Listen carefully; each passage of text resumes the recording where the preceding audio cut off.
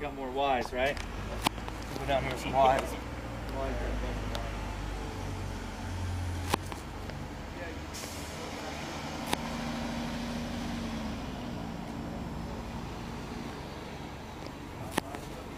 Thank